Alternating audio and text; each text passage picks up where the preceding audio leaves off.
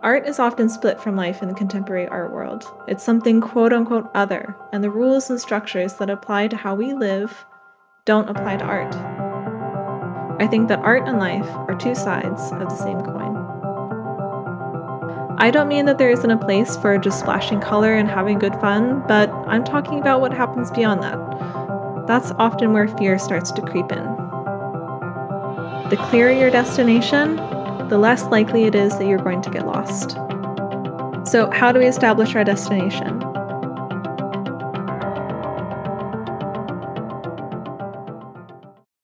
Hi guys, welcome to my studio accompaniment channel. Play these videos in the background while you're sketching or painting as I share tips and tricks and helpful reminders while you work. I hope that you enjoy, and let's get painting.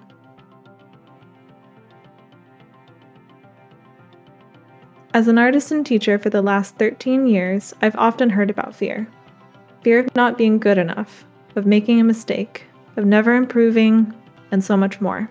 I'm not perfect and I still have plenty of struggles, but I'm going to tell you the ways that I face those fears so I can get to work. I hope they inspire you to help you face your fears as well. First, I'm going to list the five tips, and I'll explain them in detail after. Number one, get used to the fear. Number two, establish clear but flexible goals. Number three, manage your resistance. Number four, let go of being perfect. And number five, get back to your joy. You've probably heard some of these tips and thoughts before, but it's always nice to have little reminders. It's a bit like watering a plant. We benefit a lot from constant encouragement, and I hope this video gives you a little boost. If you haven't subscribed yet, here's a friendly reminder to click subscribe. So let me explain starting with number one getting used to the fear. Over the years, as you improve in your work, you're going to face new challenges that you haven't had to deal with before. By really accepting that you're always going to have new learning curves, you're going to feel better when it comes to making mistakes. Can you think of a skill that's no longer a problem for you, but that was difficult at the very beginning? Maybe you used to struggle with proportions and it used to really stress you out. Now it's not a big deal, and you can get down good proportions right off the bat. Now you're stressing about something new, like rendering or modeling. Well, guys, unfortunately, we have to get used to it because this never stops. There's always going to be a new mountain, so we better get used to the climb. There will always be moments when you're quote unquote bad at something while you are learning it. Are you learning about composition? You'll probably be bad at it for a while. Are you learning how to measure for the first time? You're probably going to be making some pretty wonky figures for a little bit. But with practice, you will get better, you will climb that mountain.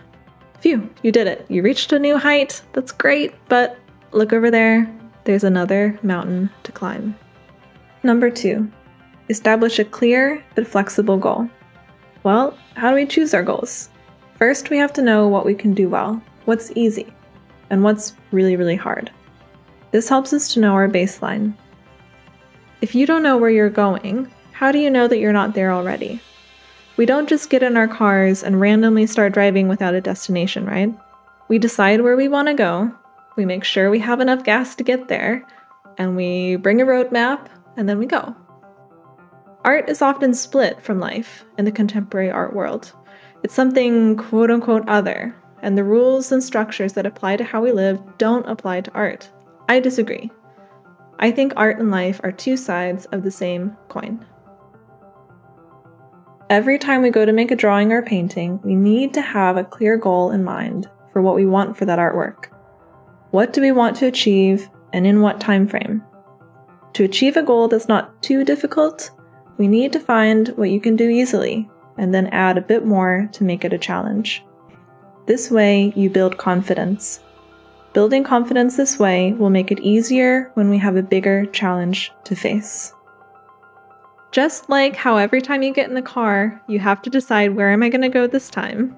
You always make sure you have enough gas, you, you know where you're going, you're not going to get lost. Same thing applies to every time you go to sit down to draw or to paint. So, let's establish our destination. Are you going to be working on this drawing for 15 minutes? For 15 days? For 15 months? Is this a big project? Is this a tiny project? Is this a small sketch? Or is this a project where you're really trying to learn about the proportions or the anatomy, or they may be a color study? We're going to have different goals for every project.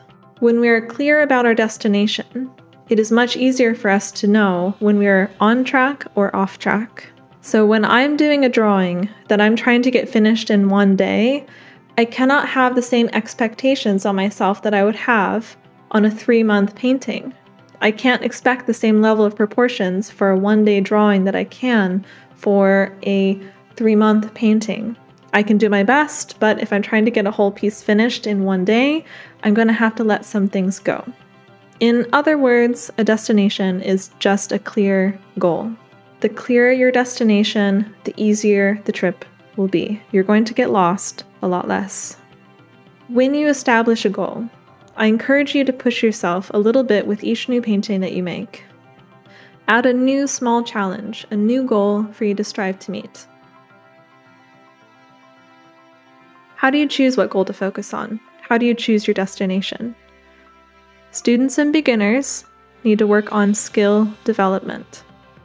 If you are a beginner, you need to find out what you are quote unquote bad at, which can often be hard to do. When students or beginners do this, it can feel, at times, like all you do is bad art. This is because you're only looking at it through the lens of how to improve. Don't worry too much about how to use those skills, just focus on gaining skills. You need to spend a long time with that lens, so be gentle on yourself in this time. Push yourself and do the best that you can, but don't worry if you don't manage this time, you can try again tomorrow I will be trying again tomorrow too.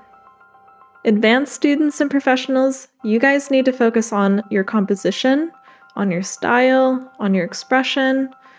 You guys have learned the skills and now it's time to use them. So establish your goal and destination accordingly. Sometimes fears can become unbearable if the goal is set too high. Adjust your goal to something that you can achieve easily, plus a little bit more. This way, you can push yourself just a little bit, create a small challenge that gives you a nice quote unquote win at the end, and this is going to help you build the confidence you need when facing bigger challenges. Number three, manage your resistance. Resistance thrives in obstacles. So, what we have to do is find and remove as many obstacles as we can.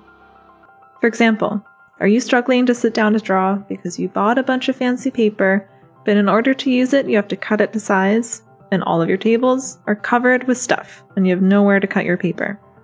In order to cut it, you have to clean the table, which then becomes cleaning your whole studio and not drawing at all.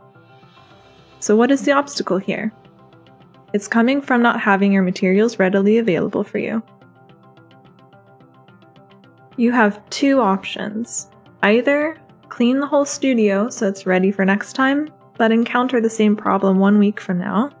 Or make things easier and just get some paper pads of different kinds and different sizes. Just have them ready to go.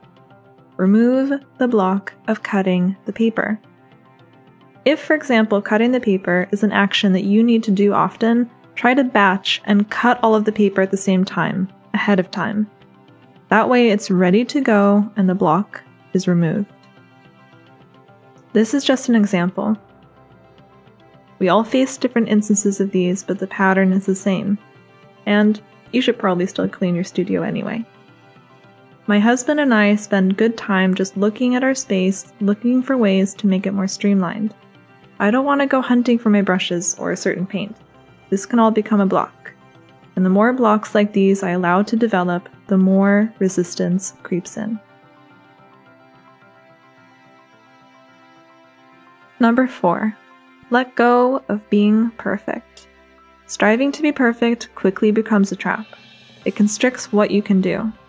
Since perfection is impossible to attain anyway, the only way to be perfect is to not make any move, which means no mistakes, which means no drawing, no painting.